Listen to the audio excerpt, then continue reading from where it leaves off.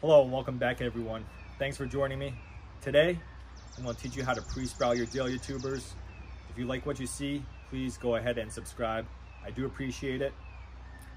Now, if you have a lot of, lot of tubers or you do not have a tray, you can start your dahlias in the ground. That's not an issue. But pre-sprouting your dahlia tubers does two things for you. Gives you blooms a month early, allowing you to enjoy your dahlias that much longer and it makes it that much easier to take cuttings. Once you've looked over your tubers, these are marked. I'll just leave them marked because I'm not going to get these really wet. I'll place them on this tray like so.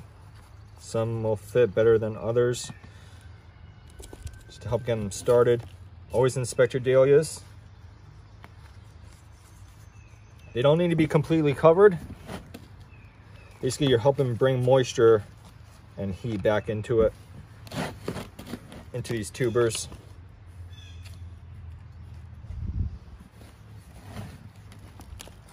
And I'm not going to wet this soil. You don't want to wet. Like I said the tubers will rot. Just go ahead and cover them or you can even a little bit leave a little bit of the tuber showing if you're looking to get cuttings. And that is it everyone Basically, you're giving your tubers a head start for pre-sprouting, allowing you to get blooms a month early or take cuttings. Not required, you can throw them in the ground. Well, that's it everyone. Pre-sprouting your dahlia tubers is a super simple way to get your blooms a little bit more earlier.